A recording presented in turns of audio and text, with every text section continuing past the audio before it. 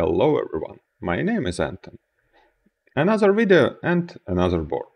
And today I will tell you more about Radxa NIO 12L, uh, which is based on MediaTek Genio 1200 and it's one of the most problematic board I tested for the last time. And if this will be changed somehow I will update you like in pinned comment and like here in the top right corner. And right now it's sad because this board has great potential, it's pretty fast, uh, and there are signs that it should be improved, but the situation right now in this moment is not very good. So let me describe the main problem with this board and uh, tell you more about what you will see in this video.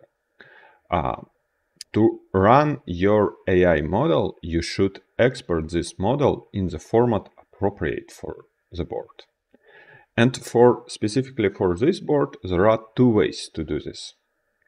And with so sources from Radxa, it's possible to do this with the simplest one through TensorFlow Lite, which is almost unworkable right now.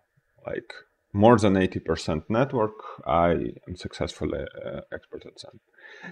There is a second way through special MediaTek uh, package, which MediaTek doesn't provide uh, freely. Uh, and they provide this only with formal NDA with MediaTek company. And of course, Radxa didn't provide this package. So right now, all that Radxa provide is not enough for uh, this board. I asked Radxa for the access, of course, but they just ignored all my question. MediaTek was much nicer. In this case, they answer all my requests.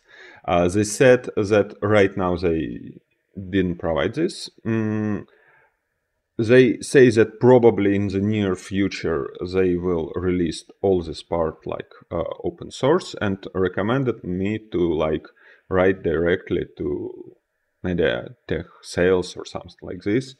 So I actually on the last embedded world I uh, discussed a lot about these boards with one of their representatives and I had his visit card, so I write him email, and he uh, said, okay, it's possible, of course, uh, you should sign NDA, and of course, because of this NDA, you couldn't like show on your channel uh, some code videos, but you can freely like tell about your experience with this.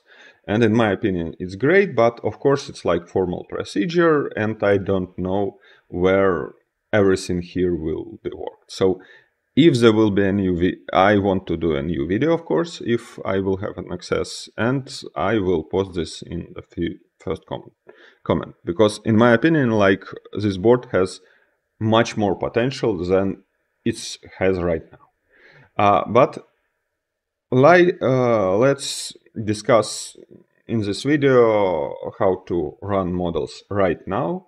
I will perform some tests to show that it's pretty nice board in terms of performance. And uh, also I will tell about other problems with this board and limitations. So let's start. First of all, documentation from Radxa is terrible. I, it's it's pretty often situation just a few basic words about flashing and so on, uh, but the documentation from MediaTek is quite nice. Uh, and my initial expression was, here is a TensorFlow Lite example, uh, and on the first glance it was like, like it's the same example like it was for NXP, which I was tested in my previous video. Mm. Okay, it should be like 20 minute adventure uh, how I was wrong. Uh, there is the CPU delegate, and uh, here is the GPU delegate. Hmm, something strange about the NPU delegate. NXP has it, why it's impossible to have it right now? Okay, if there is no Python code, maybe there is like C++ examples, not in this instruction. Uh, what is this Python code? Then, wait a second. It's it's inference for this board on NPU, but it's not normal Python code. It's called for pre-built binaries. What? Should I put all my inputs on a disk in a file and collect them the same way? it's terrible, but I can work with it. Uh, the logic is a bit complex, but of course it wasn't like performed. Even if it like limitation by protection of source code, it can be performed differently, not so terrible. So mm, let's try to run a few models. Mm, this one fail, this one fail, this one fail, this one fail. Oh, okay. Mm, so most of models, they didn't run through this example. And uh, this is uh, exactly what I started this video uh, from. I found a few models that are working. I checked like through, I didn't want to convert everything myself, so I ran through few existing libraries with a lot of TensorFlow or Lite uh, models, uh, but mm, almost all detection models didn't work. There is an example with YOLO model in the documentation, but of course uh, it has a different way of the exporting. Right here it's a graph like how to export through TensorFlow Lite and through the second pipeline. But of course there is no example how to do this because all this code on this right uh, part is NeuroPilot code and we didn't have access for it. Actually, I found one trick, but I didn't want to test it because if you have an Azure account, probably it's possible to export through Azure account your model. But again, I didn't try this. You have only two commands on this board. They are pre-built and they can work with uh, one of them can export your TensorFlow Lite to your uh, special model and the second one is can run your model. So it's ncc-tflite command and neuronrt command. This neuronrt command, it could be used to run the model exported through TensorFlow Lite and through Torch script that was uh, that's in second approach to export. What is interesting, mm, there are two different NPU cores on this board. It's MDLA and VPU FPU cores. I don't know reason behind this, probably it's some hmm, history of this product because MDLA seem like much faster. Mm, like VPU is two times slower than CPU and MDLA is 3.5 times faster than CPU. And uh, like definitely I don't want to use such slow cores for some code if there will be no big reasons behind this. Also, it's harder to export on VPU cores because they can run only int8 models and Actually, I don't know because according to the documentation, there are two um, mm, MDLA cores and there are two VP cores. But in the code, I couldn't like choose which one is used like it was for Rockchip board. So maybe they are used simultaneously, so you didn't choose and it's automatically like running on the two cores. But it's pretty interesting what is working through this TF Lite approach, which is accessible to us? I found just a few models. From the detection models, it was mm, only SSD. Uh, there was a few classification models like SqueezeNet, ResNext, and I think that's all. Like a few classification models, one detection models, none of like point detection models work, none of well, like segmentation models work. So the scope is super limited and the errors they pretty often they didn't tell anything about the problem why this model didn't work it's just segmentation fault and of course it's like unusable right now let's check what is available according to the guide and again this part will be more about what should work in the future but it's not about what is working right now. And uh, and according to the guide, there are like a list of pretty good models that's uh, like pretty actual state, mm, not state of the art, of course, but like mm, pretty commonly used today, like YOLO V8, YOLO X, and so on. Mm, and uh, of course, I couldn't like check any limitation of these models. Uh, here is like official speed guide uh, from this for this model from like official documentation. As you can see right here is MDLA core. They are super fast. If uh, you check with my previous videos about Rockchips, Actually, it's even fast. The speed of NPU core is super nice. Also, it's super nice that it could use like FP16. Mm, it's pretty rare for NPU chips. So it's look pretty nice, but only in the documentation and you can't run this right now. So let's run through pluses and minuses. What is good? It's faster than Rockchip RK3588 and as far as I understand, it's a little bit cheaper. Like this board is cost $100 and I think that the cheapest Rockchip 3588 it's more around like uh, 120 or some, something around.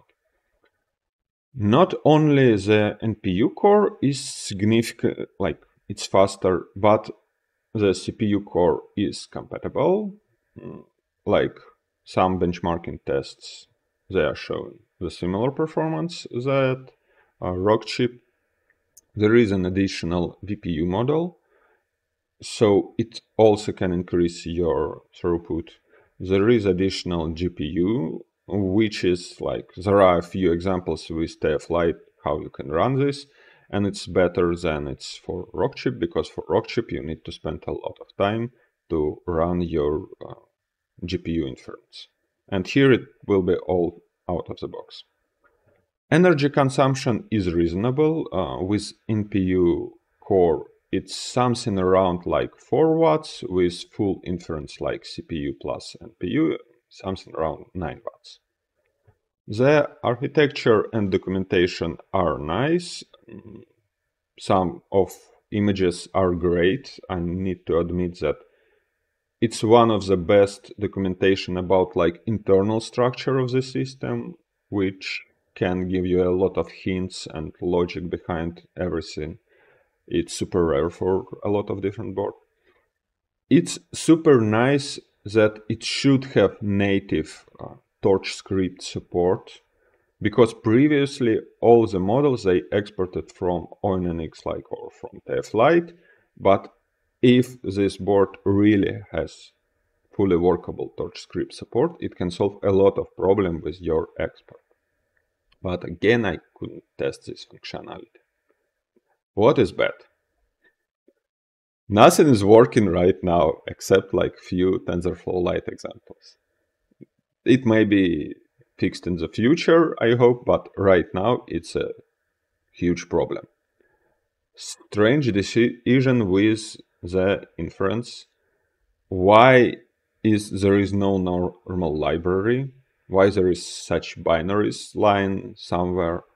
Why is there is no normal C++ example? Maybe it's like in closed like NeuroPilot access, I don't know, but right now I just need to spend, if I want to use this in production, I want I need to spend a few days to wrap up all this mm, inference pipeline with some like virtual memory when all these outputs and input will be stored.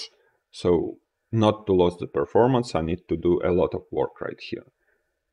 Mm, it doesn't look production ready. Mm, the next minus, this board is huge. Here is like, for example, rock, uh, Raspberry Pi sized board and this one board. And the packaging here is not very dense, so I am a bit confused about this logic mm, because it, it definitely can be much smaller. The next problem is fast throttling and it's a huge problem right now. There is no additional like mm, I couldn't buy like fan for this board and there is no like maybe some thermal radiator for this board. It's just not accessible on any stores and since this board is it has unusual format I don't know how to fight with this. Of course, it's possible you will spend some time, but right now, if you just want to use full power out of this board, it will be impossible, like a hobby product. Uh, some of these issues, of course, they are more like Radxa related, they mm, MediaTek related. So maybe with the different MediaTek board, mm, it will be better, but right now it's the only one board that is accessible for testing. What, but Radxa also has a lot of different issues. Like I already mentioned that documentation is pretty bad. Uh, official Git repo where there should be all the sources, it's also empty. Uh, there was a big problem with delivery. I was ordered my board in May in Ubuntu uh, in Ubuntu package, and I received it like in August, in the end of the August in uh, Yocto Linux version. Mm, but they like warned me somewhere in the mid of the summer, or they warned me that there will be no Ubuntu version for this board for now. Maybe it will be available in future, but right now it's still not available. So that's all. Right now, this board has like a lot in like mm, its promises, but right now it's mostly like unusual. Mostly because of Radxa, in my opinion. Maybe partially it's because of MediaTek, but at least they communicate and they working on this problem. I hope they will fix this and I will reevaluate this board. Thank you for the for watching. Bye.